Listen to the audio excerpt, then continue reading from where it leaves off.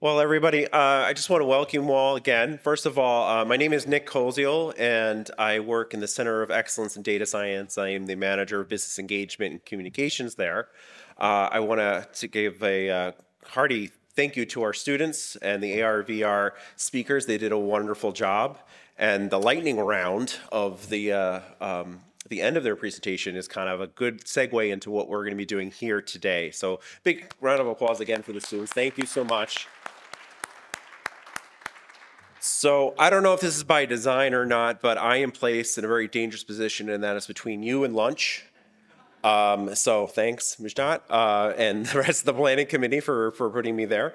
Um, so just a few expectations and kind of rules about what we're doing. This is the first time we've done this, so we're going to be kind of going through this uh, and learning as we go, and we, we want suggestions on how to improve this in the future. But essentially, it's pretty simple. We're going to be having our businesses come up in the order of your technology showcase brochure uh, we have a few additions at the end that uh, we have added, and uh, one omission, and I apologize again to Ron Hunt and Green Tornado. Uh, he got all his stuff in, and, and, I, and we missed the, missed the ball on that one somehow. Um, but first, I wanted to kind of talk a little bit about partnering. The whole idea behind this networking and mentoring, not mentoring, networking event is the partnership programs and finding partners for researchers and businesses, which is what our two organizations, CEIS, the Center for Emerging uh, Innovations and Sciences, and the COE do.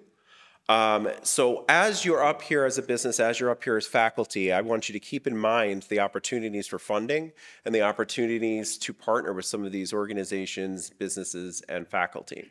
So really quickly, I'm just going to go over some of the funding programs for our two centers.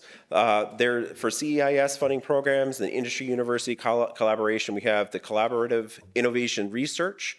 Uh, it supports one year of research, can be with any New York State company. Uh, usually faculty are at U of R or RIT.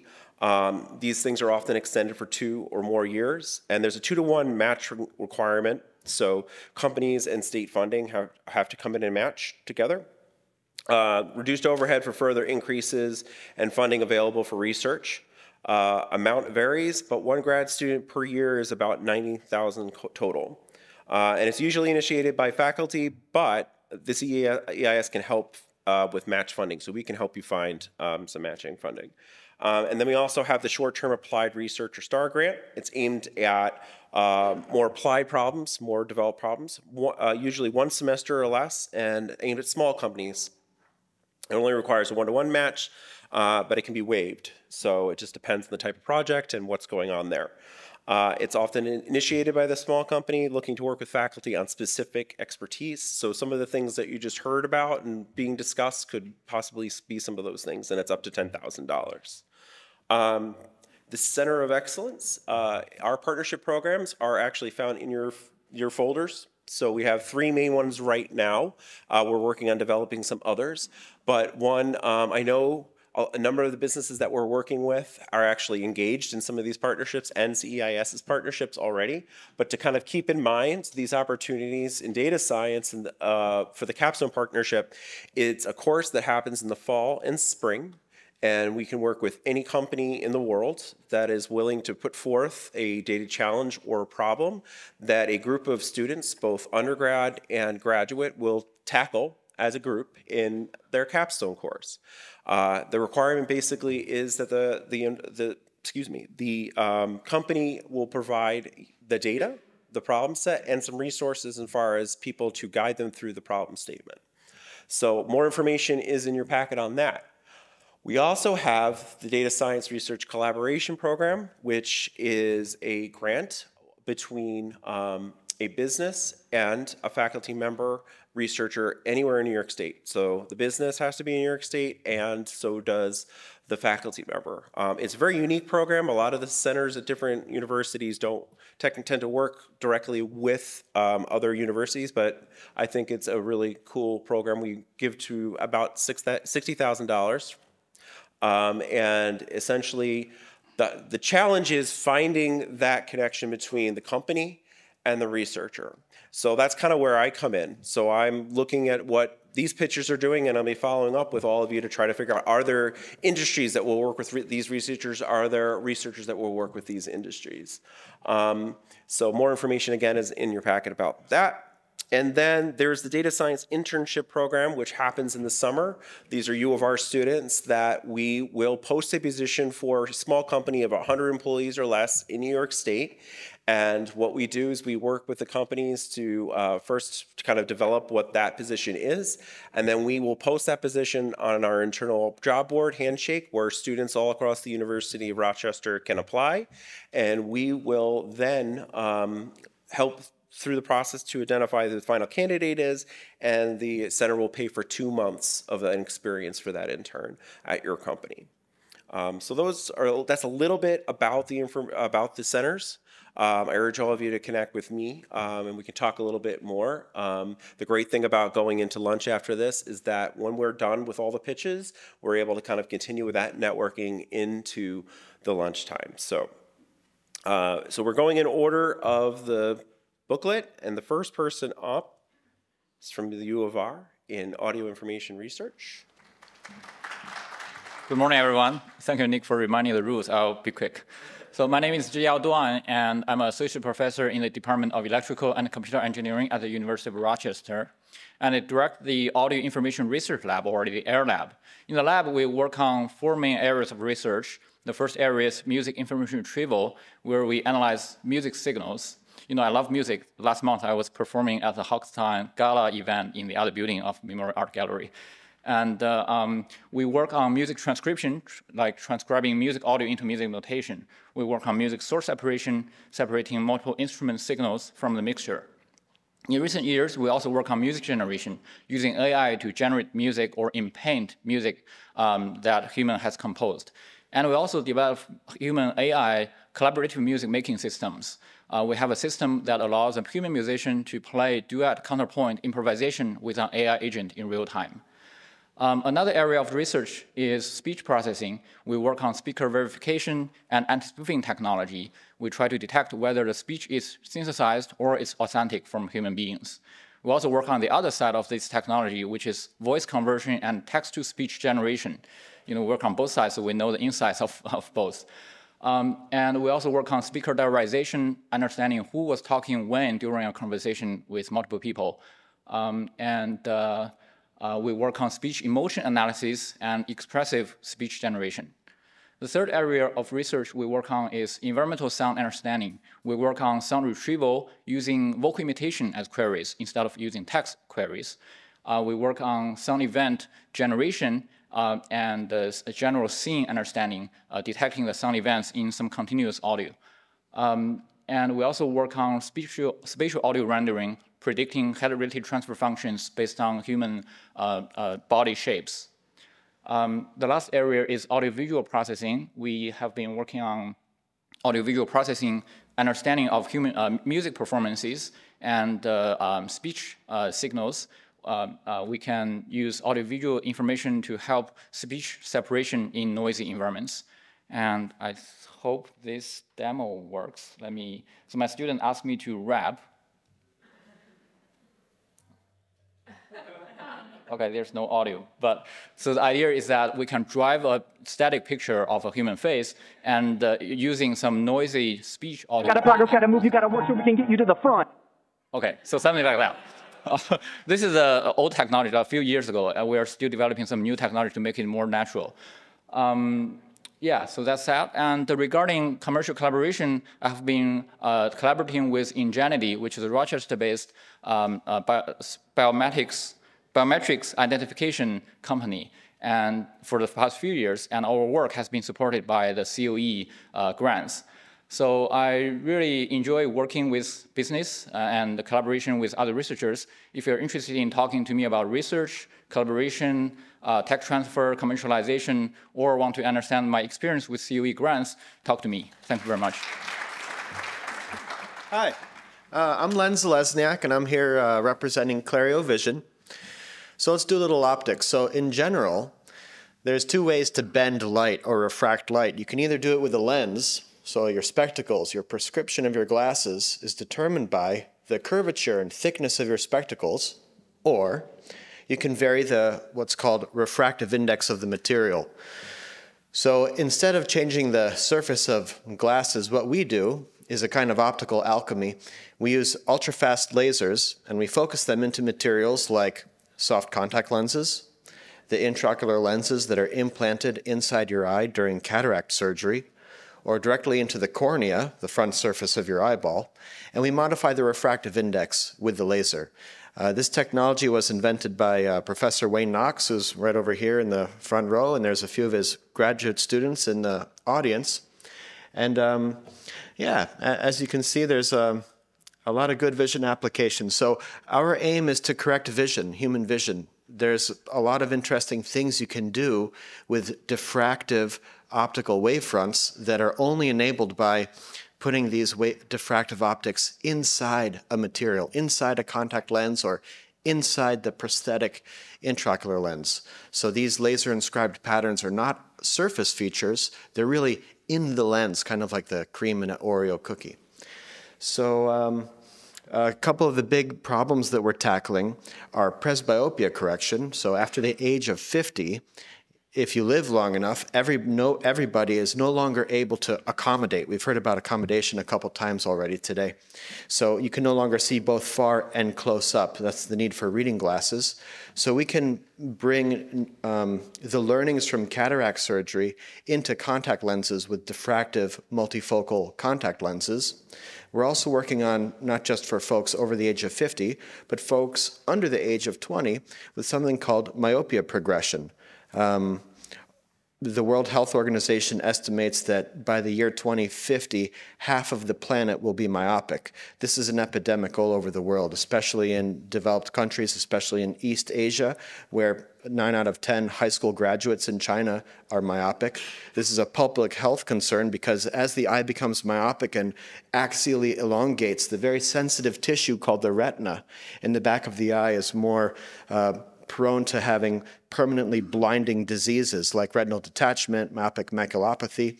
So we're designing diffractive uh, contact lenses as a therapy to slow down the rate of eye growth in children to combat myopia progression. Um, yeah, I think that's about it. If you guys want to chat more during lunch, I'd be happy to. So thank you. Hi, I'm Molly Zimmerman. I'm from the New York State Science and Technology Law Center which is located at Syracuse University's College of Law Innovation Law Center. Um, we're a NYSTAR sponsored resource, and um, thank you for the opportunity to be here today to tell you a little bit about it. Um, the Innovation Law Center is an experiential learning program where law and business students work with new technologies from research centers all around New York State to um, provide research to early stage companies. The research is in um, prior art, the uh, secondary market research, and regulatory research. Prior art research, as many of you may know, but many early stage companies don't, um, includes patents, patent applications, uh, academic publications, and products that are available um, anywhere in the world and are relevant to whether something whether a new technology uh, qualifies for uh, patent protection. So um, prior art research is one of the biggest areas of research we complete. And this is very important to any of you developing new technology with an eye towards commercializing it uh, for a number of reasons. First of all, while you're developing it, it's really important to be aware of what patents and products are already out there. Uh, you can actually design around them sometimes and maximize your chances of getting a broad patent, which is a, a better patent, a more uh, gives you more of a commercial advantage, and minimizing the chances that you will infringe on existing patents that already exist. Um, the second reason is to, um, when it is ready to apply for patent protection, to um, obtain or to assess whether it makes sense for you to make that investment in obtaining a patent. Almost any patent attorney will be able to get you some kind of a patent, but often it's so narrow as to not really be worth the investment that takes. Um, and by understanding that and understanding the reading of claims, you'll be in a much better position to make that assessment. There's sometimes a reason to seek a, a very narrow patent, but you should be cognizant of why you're doing what. Um, I just want to clarify that our research center is not a substitute for patent attorneys or any other law firms. What we provide is research that's helpful in making those decisions.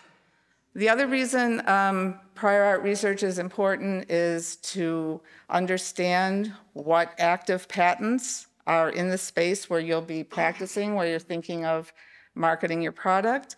Many times people don't realize that you could have a patent and still infringe on other patents. And the final reason is because investors want to know. They want to know that you know what the patent landscape is, what the uh, prior art is, and they want to know who, that you know what the competitors in this space are doing and how you're different from them and moving forward. So we have a table, we have some guidebooks, and I look forward to talking with any of you. The nice thing about NYSTAR sponsorship is that we can provide much of this research um, without a cost, um, and uh, I look forward to speaking with you. Thank you. Hey, good morning, everybody. Uh, my name is Ram Haddas. I'm the director of the U of R Medicine Motion Labs. I'm also assistant professor at uh, Department of Orthopedic and uh, also Department of Biomedical Engineering. Uh, I'm here today to present you a great opportunity. So currently, uh, the way clinicians assess disability and function of patients is based on surveys. Uh, surveys, uh, they're very powerful. They give an opportunity for the, for the patients to actually um, uh, demonstrate how they feel. However, they're very subjective because my 5 out of 10 pain score is different than your 5 out of 10 pain scores, right? Therefore, we need more objective uh, outcome or measurements. Uh, this is why we're going to open this summer uh, U of R Medicine Motion Labs. We're actually opening five motion labs that we, that going to able that going to allow us to assess disability of functions of patients uh, before and after surgical or uh, physical therapy intervention. Uh, we have uh, five labs over there, but three of them actually have some uh, extended reality adds on to it. Uh, part of our equipment, including uh, uh, human motion captures, marker and markerless system. I don't know if you saw how they're making those video games, but the patients can just walk in the room and we can make a skeleton and tell you exactly how much range of motion the patient is doing. We do have some surface and, fine wire EMG system to capture uh, um, patient's muscular activity. We do have a couple of EEG helmet to capture brain activity along a bunch of force plates and oxygen consumption mask. Uh, the problem is that we're putting all these sensors on the patients, and then we tell them, okay, now try to go freely and, and pretend you're like, like you're at your own home, uh, which is kind of a struggle. Um, what I did actually, three of our labs have uh, extended reality adds on to it, basically, when we're actually projecting to the patient's uh, simulation, if he's on treadmill or they're standing, or we're just putting the VR uh, goggles on it. Uh, so what we're looking, we're looking to, uh, to partner with somebody can help us to build environment like a natural environment, they'll be able to feed in from our sensors uh, and trigger based on what the patient is doing. For instance, if a patient is going to a 90 degrees of shoulder uh, abduction, we allow to advance the animation to the next level and help the physician, uh, the clinician, the physical therapy uh, to get a better and more specific uh, treatment plan for the patients. Uh, that's about it. If you're interested in having ideas, uh, we have a bunch of toys. I'll be happy to speak with you over lunch. Thank you. Good morning. Uh, my name is Seva Visweswaran. I'm with uh, Monroe Community College, part of uh, their Workforce Economic and Workforce Development Center. Um, one of the projects I'm leading right now uh, is what we call career exploration. It's a very strategic objective for Monroe Community College, and I'm sure other uh, community colleges around the nation, because um, we have this huge gap, right? We have this huge supply-demand gap where we have hundreds of thousands, perhaps millions of jobs that are out there, high-paying jobs requiring high skills in industries like manufacturing, construction, um, new, new uh, you know, energy technologies and so on. and yet there is uh, not that much student interest, right? So we're really trying to see how to generate uh, student interest right from very early on, from K-12 onwards, and especially in middle school, high school, and trying to get them uh, interested uh, in all these uh, industries and career options that uh, they provide. So we're approaching uh, it uh, using this sort of uh, three-stage model where uh, we're trying to get them interested initially by making it more fun. So I think this is where we're leveraging AR, VR technologies uh, because, uh, again, younger students, kids are much more engaged, they're enthusiastic to try out new things when it's exposed to them through these technologies. Um, so that's where they start. But once you kind of uh, capture their interest, we want them to go a little bit deeper. Now expose them to more industrial uh, grade simulations. They're still simulations.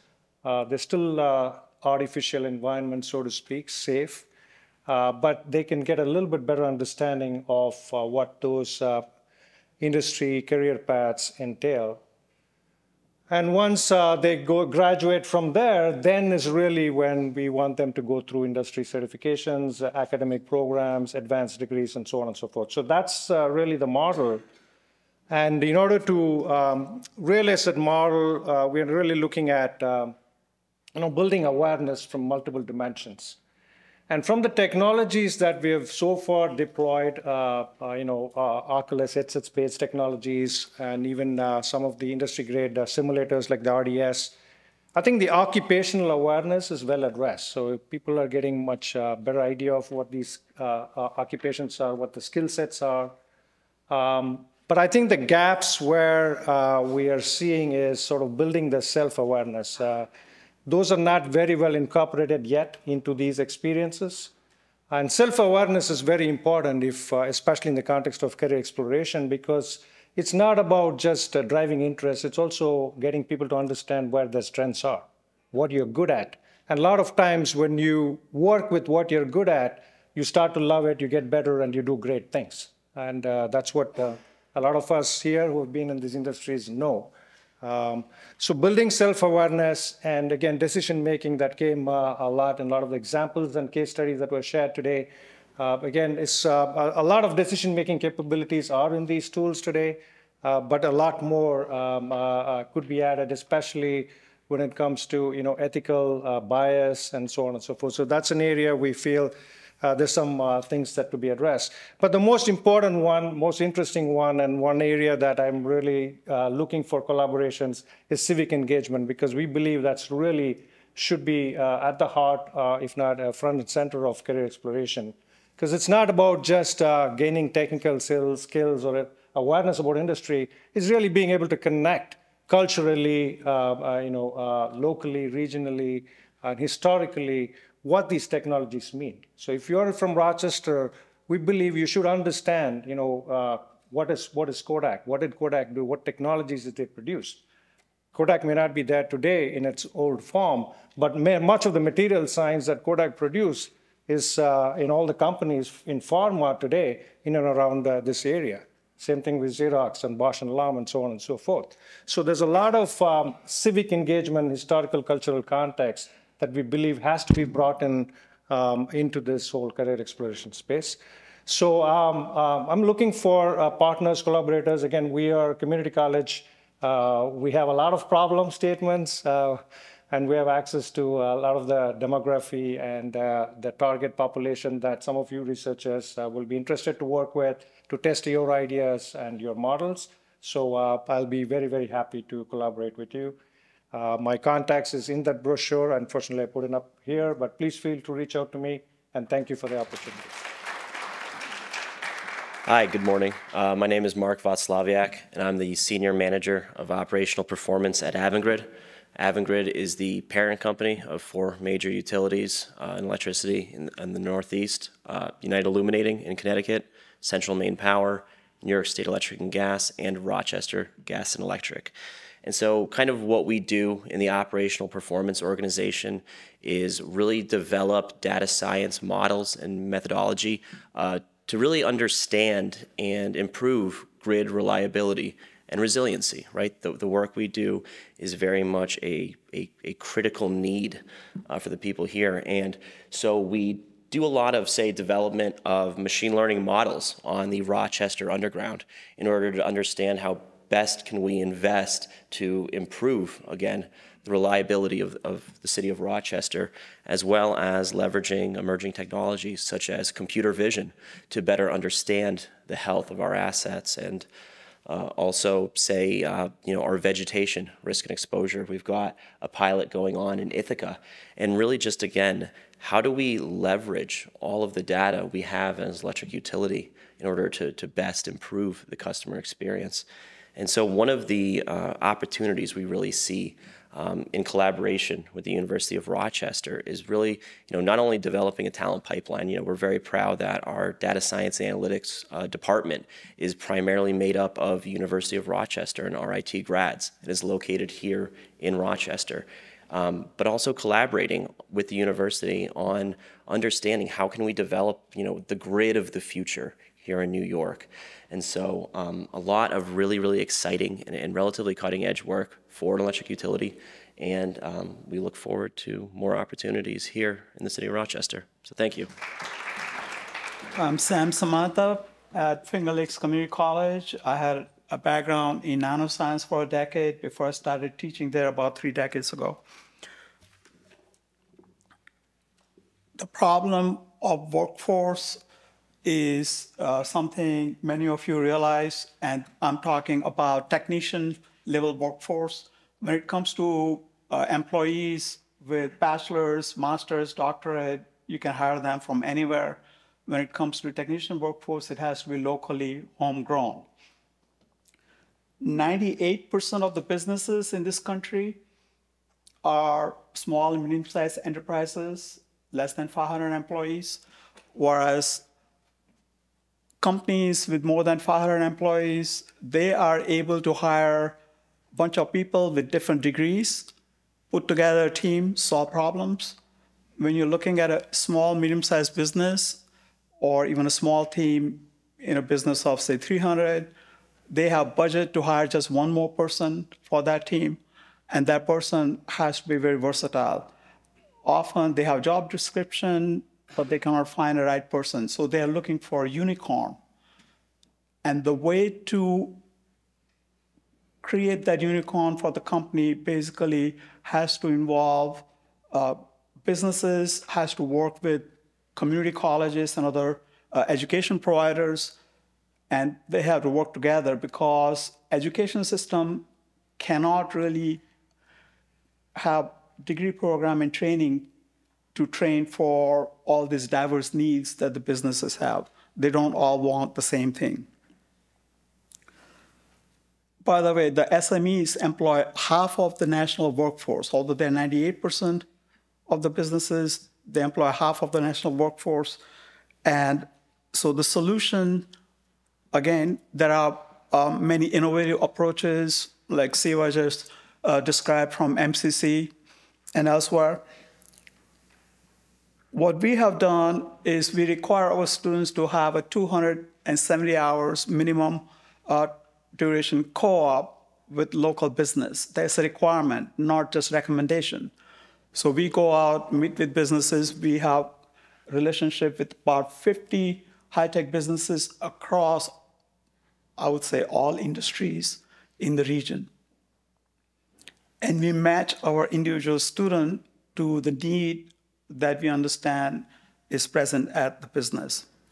So we have been doing that for 10 years, um, over 10 years, and we have one of the highest completion rate among technical program in the country. Some of you may not know this because at university level, you don't often see this problem.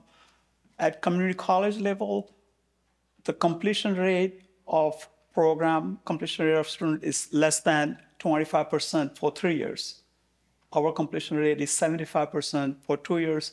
And I believe part of the reason is the co-op. Once the student starts working, they see the relevance of what they're doing. They see the light at the end of the tunnel before, long before the end of the tunnel, they persist. We have high flex scheduling, so students are able to, uh, we uh, recommend that they come in the class in person, but they can also connect over WebEx in real time or learn asynchronously. We have a grant from Smart Manufacturing Institute, CESMII. It is one of the 16 Manufacturing USA institutes to develop learning modules for our students as well as incumbent workers. Another interesting thing that we found out that every year one of the four or five graduate is actually a person who had a prior baccalaureate in non-technical area, say in liberal arts. So I believe there are a lot of underemployed liberal arts graduate uh, with good work history in this country. They are basically hidden resource for high technology workforce. They are proven students, so they pick up skills very quickly, and many of those skills, teamwork, communication, are highly prized anyways. We have an event on May 16th, public event, and I can share a flyer about that. Uh, part of the panel discussion for the event is liberal arts of high technologies.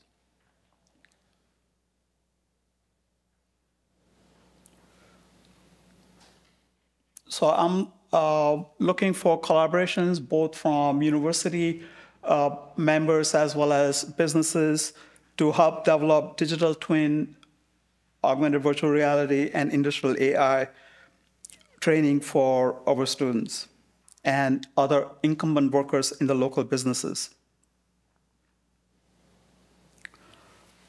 Workforce critical for reshoring semiconductor manufacturing and other supply chain. We know that this is important for New York State. Can be readily developed, but they one way to develop that across this region as well as country is to require that these programs have a co-op coupled with adaptable uh, skills in automation and Industry 4.0. Um, I'm here for rest of the day, at least till 3 o'clock, so please. Thank you. Good morning, everyone. And so my name is Jim Poor, and I'm the co-founder of a company here in Rochester called Immersitech. And our focus over the last five years has been in developing audio technologies to essentially make human communication in virtual spaces significantly better than it is today. And so been the, the very fortunate uh, beneficiary of a number of students out of the U of R uh, graduate uh, electrical engineering program, Dr. Bocko and Duan and others here today. Just very pleased to, to highlight kind of as a success that the benefits that, that much of the work that's being done in the university and really among many of the people that, that we saw this morning. Um, I kind of reference to Anton's presentation this morning about kind of creating realistic audio uh, engagement in virtual spaces is kind of a premise of why we started the company.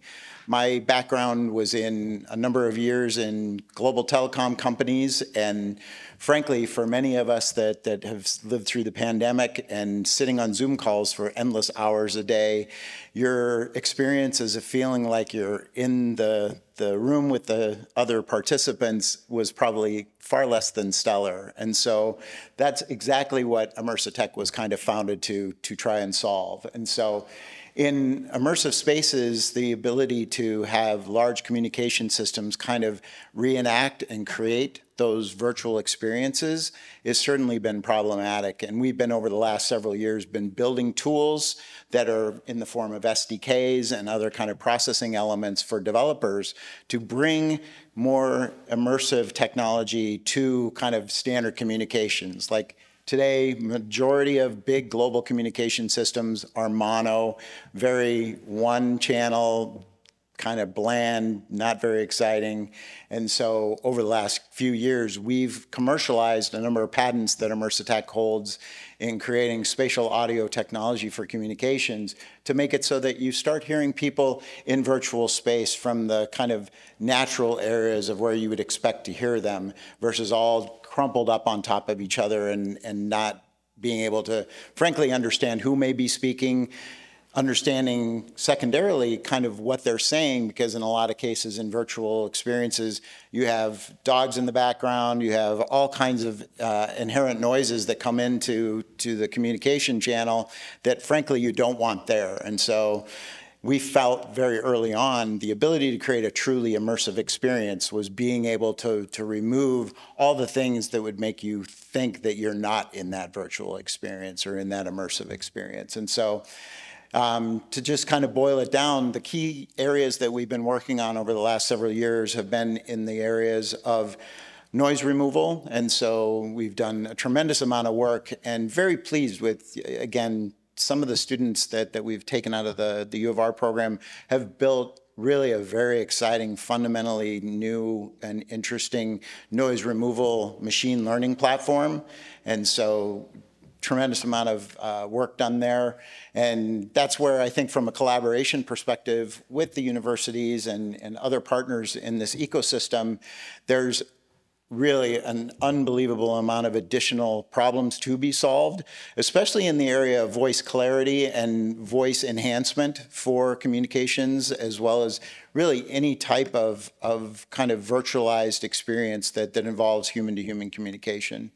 And then finally, the spatial element of it. And so um, that's an area where we originally started, but to get there, we felt all these other things would have to take place to make those experiences much better. And so I would just highlight, we have some new and exciting demos that, that we put up on our website that I'd welcome any of you that, that have an interest in kind of listening to how noise removal and certain areas, I think we're very early days in our voice clarity work, and so look for additional advancements there in the next coming years.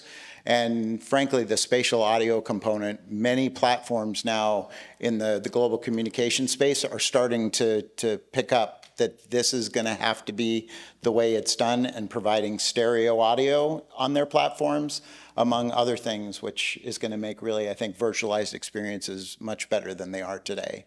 And so uh, be around for, for lunch and later today and look forward to, to collaborating with you on opportunities to, to see what's possible here. So thank you. Good morning. Uh, I'm Gonzalo Mateos. I'm with the faculty of the Department of Electrical and Computer Engineering here at the University of Rochester. Uh, since very recently, I'm also serving as uh, Associate Director for uh, Research at U of R's Goergen Institute for Data Science. Now, in terms of my background and, and training, that's been electrical engineering all along, specifically in, in, signal processing.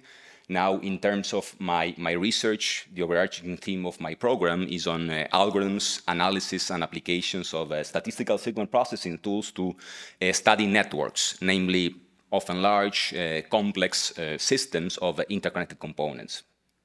Now, I lead a, a highly collaborative research group uh, that develops methodology to study relational or learn from relational data, uh, which we often find useful to encode or work us, uh, with graphs, right, that have uh, nodes, vertices, and their connections or edges.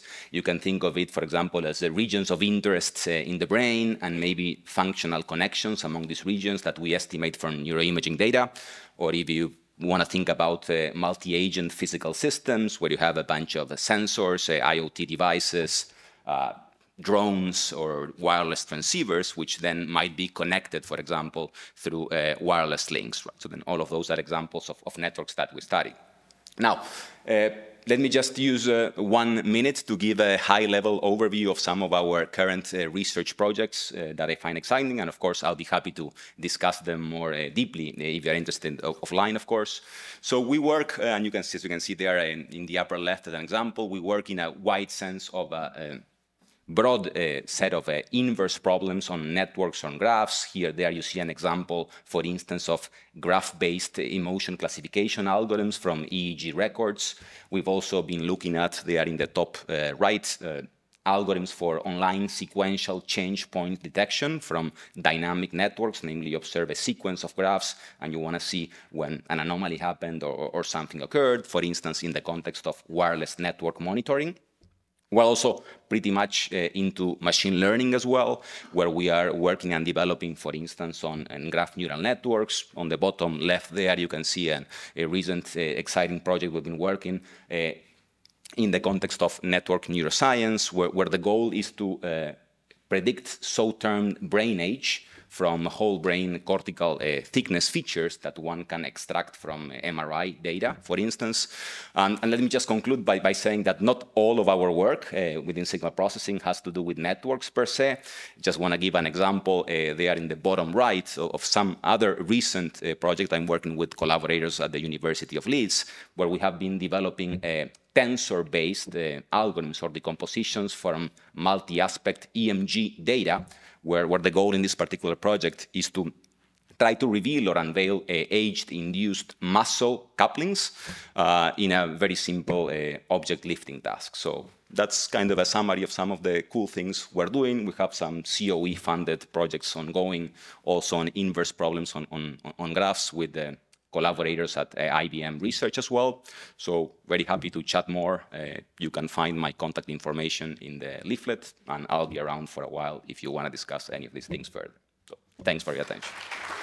Hi, I'm John Belvian. I'm CEO and one of the co-founders of Xaliant. Um, we do make wireless sensors for cows.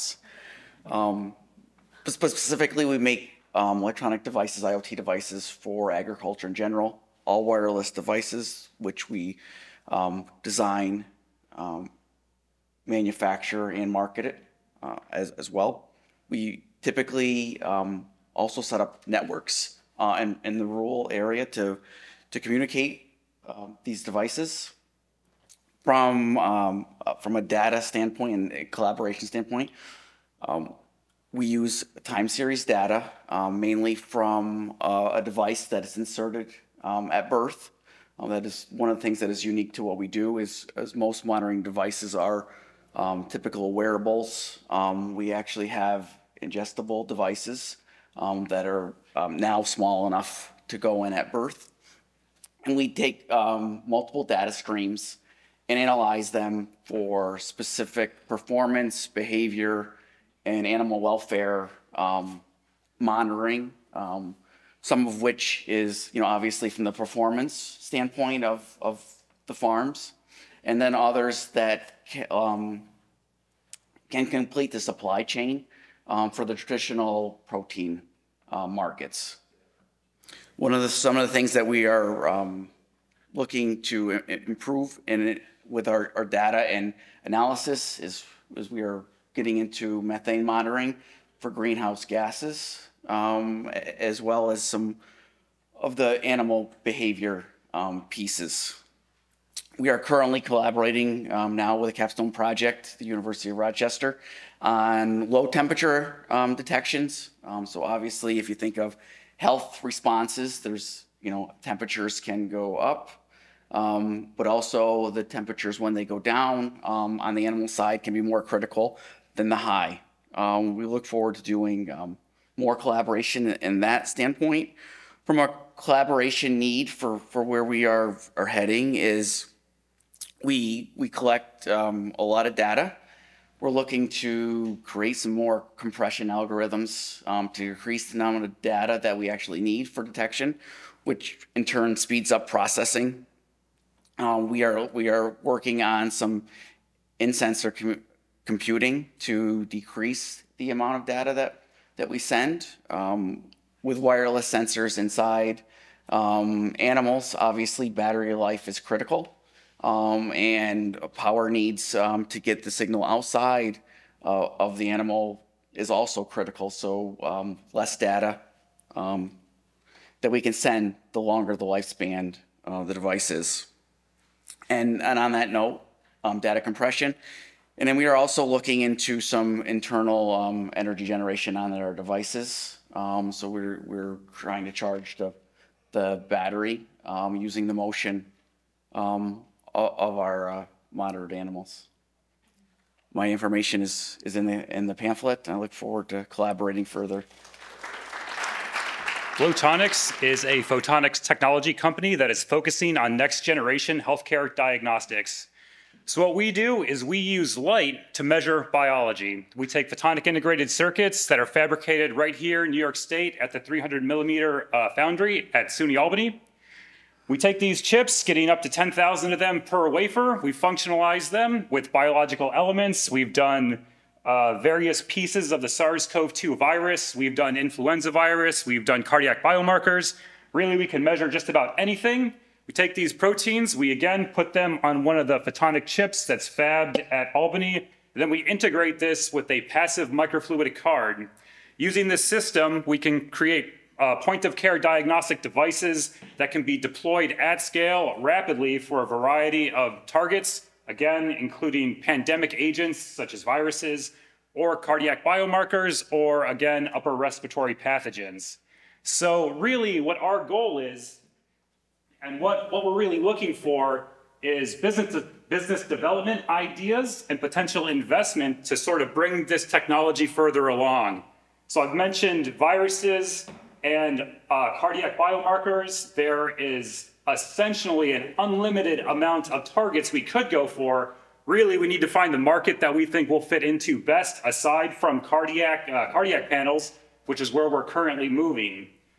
So what, what we want to know, really, is we have the ability to produce these things at scale, tens, hundreds of thousands of them, relatively easily. The photonic manufacturing is essentially complete, complete passive microfluidics is just an injection mold process. So we can scale this pretty rapidly, but really we need to focus in on what we think is going to give us the biggest bang for our buck in terms of trying to achieve some sort of uh, FDA approved process and get that regulatory, um, regulatory compliance approved.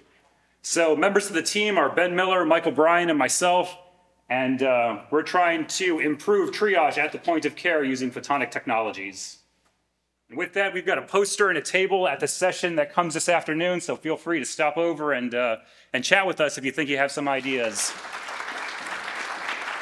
I'll be the first to say good afternoon, even though we have, I guess, about 10 more minutes. My name is Caitlin Dreisbach, and I'm an assistant professor in the School of Nursing and the Goergen Institute for Data Science at the University of Rochester. I came to Rochester after a two-year postdoctoral fellowship at the Data Science Institute at Columbia University.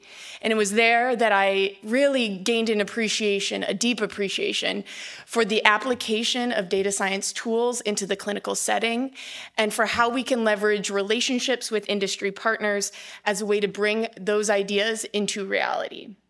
My goals in this pitch are to first urge you to consider how understanding the underlying biology is critical for building tools uh, ultimately deployed in the healthcare setting. And then second, to provide an introduction to some of my work at, and to see where that overlaps um, for future collaboration. So this slide here shows my overall research program of using data science methodologies to make better clinical assessments during pregnancy. This overarching goal is informed by my foundation of understanding the biological and genomic impacts of human health and disease. So here on the very far left, we want to understand the underlying biology as it impacts real functional and physiological changes that happen within our complex body systems.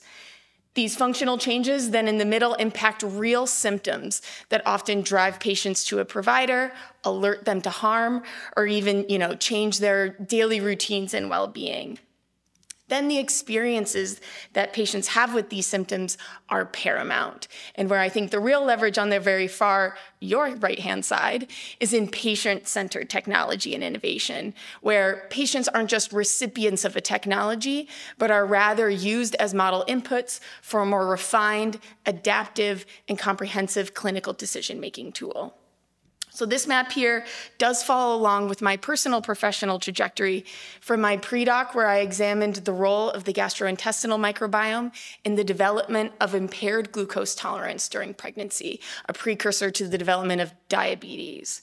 And then in the middle section, where I gained skills in symptom science, and then on the far right, again, where here at the University of Rochester, we have several project lines on ultrasound imaging analysis of prenatal ultrasounds, uh, using um, wearable sensor data to identify patterns within physiological changes, again, connecting those symptoms to the functional changes that happen within our bodies, and then building tools for predicting labor in the late components of pregnancy. Each of our projects aims to make better clinical assessments so that we can identify areas to intervene sooner and uh, optimize um, the health of our patients. My strong feeling is that individuals and families can be happier, healthier, and more empowered through the process of pregnancy and delivery. Thank you, and I'm looking forward to chatting with you further. Ronald Hunt, COO, Green Tornado Wind and Water Turbines. Our inventor, Robert uh, Bishop, invented a few things you have heard of the uh, ultrasound machine, the surge suppressor, 63 other industrial and manufacturing patents, which have um, created over hundreds of billions of dollars in revenue and cost savings to major industry and mil- military applications uh, throughout the world. So simple and utilitarian. Um, I'm going to give Robert Schultz minimalism. We have basically created a better power source for wind turbines. It is central. Uh, come to the booth later. I'll show you pictures in a video. if you go to page 17 of the guide, there is a small description without contact information. I'll take care of that for you. But what we've done is we've reduced the number of parts, we've increased the number of, um, of wind application per square meter of blade. Uh, by reducing vibration, we create something called a vortex effect where we're geometrically, uh, geometrically and exponentially creating energy at 40 miles an hour and above where conventional wind turbines have to shut down at 35 miles per hour because the blades become unstable. So just when we need the energy the most, we're producing no energy. And that's what happened in Texas about 18 months ago. Um, so this is a huge, huge uh, undertaking, of course. We uh, also, the, cent- the center of gravity with no blades, we're not harming wildlife. We don't kill eagles, whales, dolphins, thousands of insects, um, and we, we're very proud of that. What are we looking to do? Uh, well, we're looking to take our data and, uh, and mine it, and the University of Rochester and the Center of Excellence is helping us do that. That's on our spring agenda. We're also getting university verification of all our independent uh, testing so far. We are look. We have one working prototype. Our mechanical engineer is working on several others. It can be scaled up to replace coal and natural gas power plants. It can be scaled down to produce electricity for cell towers where we don't have uh, communications in the Adirondacks, among other places in America. So there, the there are infinite numbers of uses and applications through these six prototypes that we are in the process of producing. What are we looking for? We're looking for money. We're looking for expertise. We're looking for visionaries. So if anybody's got any of those, please see me at the booth. Thank you very much. I guess I should be the last one to say good morning, right? That's good. Yeah, exactly. So anyway, um, so I say um, uh, Wayne Knox, University of Rochester from the Institute of Optics. Uh, I woke up at four o'clock this morning and I realized that I should be giving one of these pitches here this morning. So I sent it to Mark and uh, at 6 6:15 Mark said, "Okay, you're in." So here we go.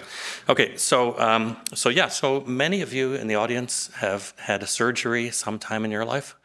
Some of those uh, may have had a bad outcome, and Many of you in the audience uh, may have a surgery in the future, although you don't know it now. Uh, you don't want a, a, bad outcome.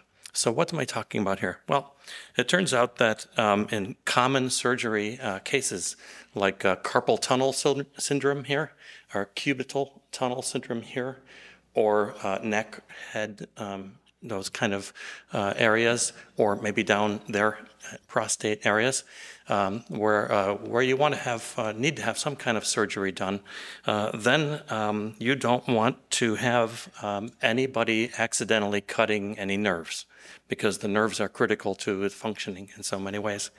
So our collaborator, uh, Dr. David Mitton, uh, many of you know him in the orthopedics department at the U of R Medical Center, has told us that um, that the largest lawsuit in the history of the University of Rochester Medical Center was from a nerve cut injury during a routine carpal tunnel uh, surgery, um, and it um, and it caused a, a bad a disability.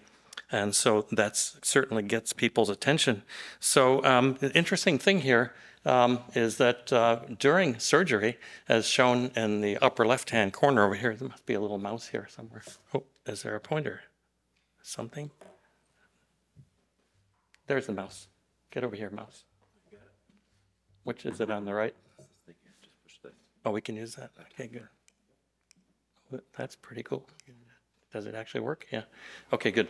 Yeah. So, um, so during surgery, uh, the nerve, which is shown, kind of shown here, is very difficult to find actually. And as the surgeons, uh, they don't have a lot of time. They have to get this done quickly.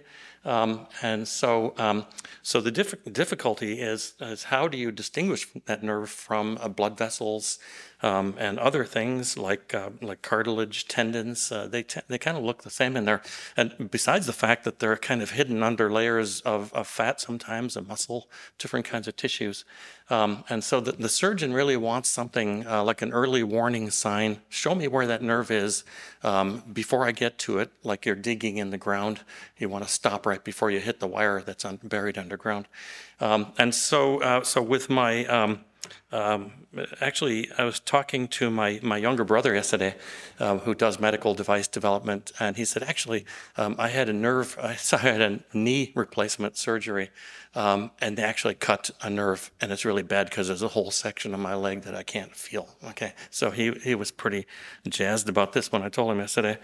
Um, so with my optics master's student, Howlin, who's out there in the audience, um, we've developed a, a prototype optical device and tested it um, in a chicken model. Um, Howlin has become a very proficient uh, chicken surgeon now. Uh, he's been trained how to go to Wegmans, buy chicken, and pull out the nerves. Um, he's done a great job on that. Um, for his master's thesis, by the way, this project has all been done in, in just one master's thesis, uh, a very short time. Um, and I think we'll have a record here uh, going to our first uh, live human clinical trial uh, shortly. Um, all of that in less than a year, which is quite amazing.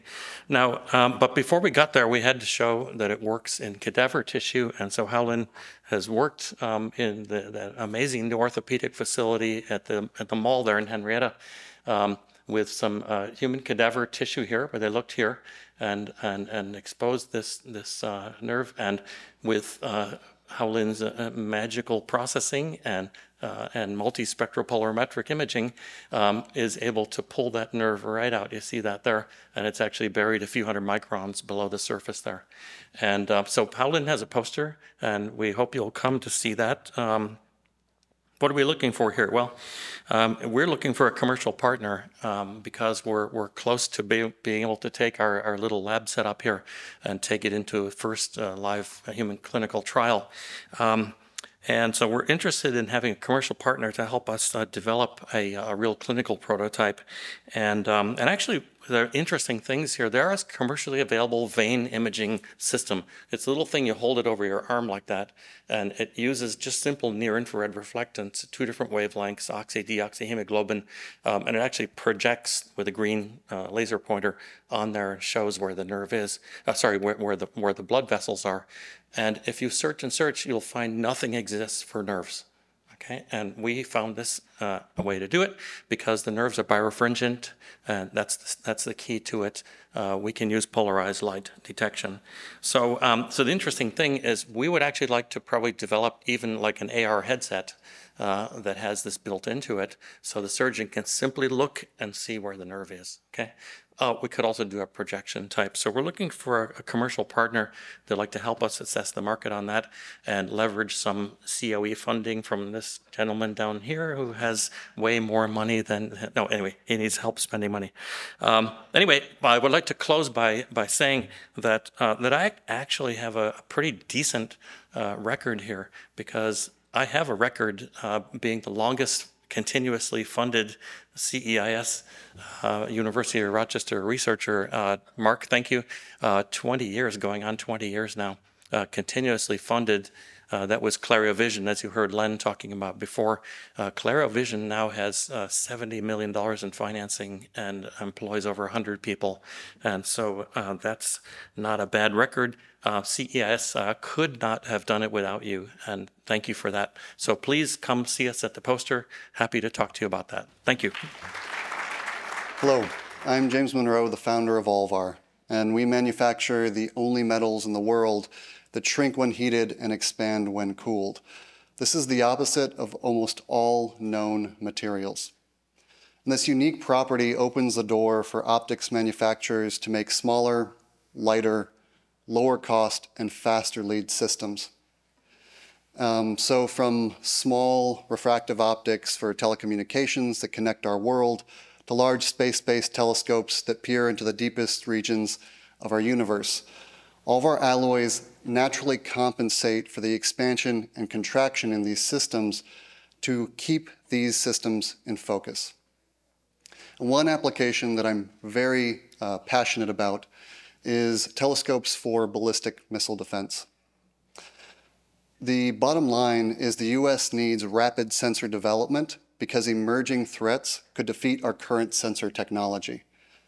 The trouble is optics manufacturers are locked in to high cost and extremely long lead beryllium components as a key telescope material because there are no commercially available solutions that can survive the extreme environments of ballistic missile defense vehicles.